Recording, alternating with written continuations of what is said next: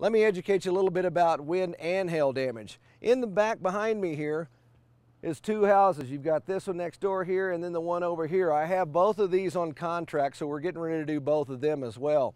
However, you'll notice that the wind has blown sections of these roofs off, okay?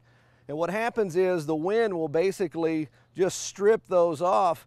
And in, some areas that may not look like it's wind damaged, it is because the wind has lifted that shingle up so many times, it's tore through the nail and it's actually ripped the shingle in many areas. And that's the thing that you have to go around and lift up the shingle to see if there's that kind of damage.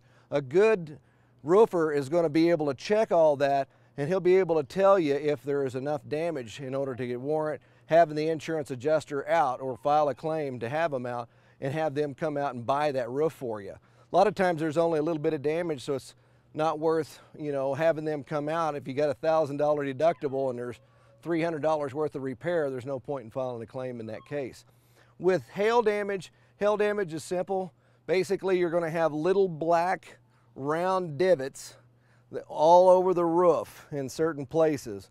Sometimes it takes a real trained eye. There's some roofs that are damaged you as a homeowner won't ever know because unless you've been doing this as long as I have or been trained really well on what to look for, you really won't be able to tell if that's damaged or not.